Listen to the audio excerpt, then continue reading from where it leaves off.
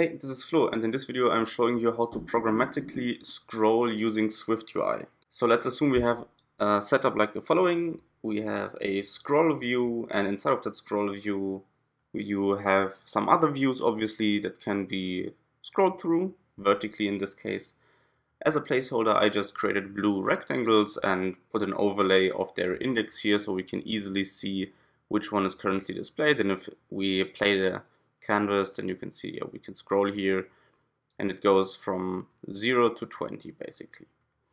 Okay, now we want to add a button to scroll to the element number 10 and at the bottom of the list we also want to add a button to scroll back to the top.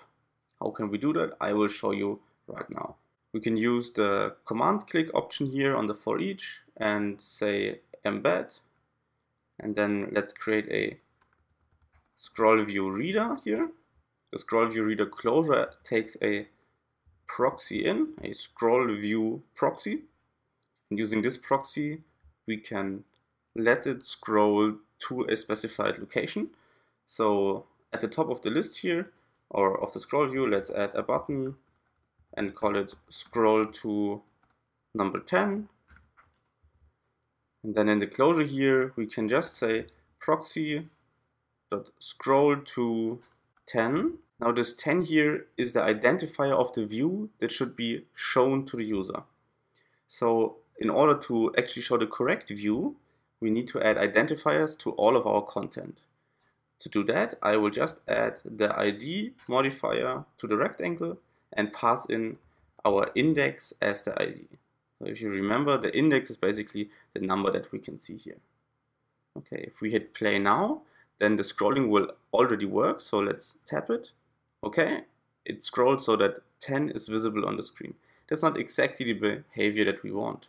So first of all, let's go back and delete that here and have a look at the second overload where we can pass in an anchor. So first of all, our ID is still the same, 10. And then as an anchor, we can now specify a point on the screen.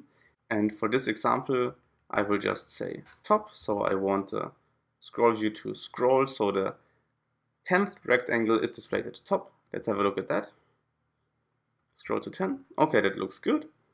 But it doesn't really animate, right? So let's hit it again. It just instantly goes there.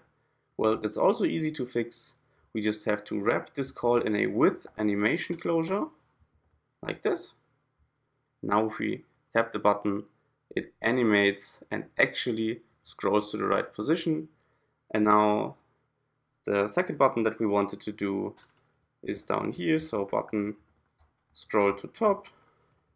For this one we will do something very similar. We will say with animation proxy dot scroll to our item number zero with an anchor of bottom and let's see what happens here.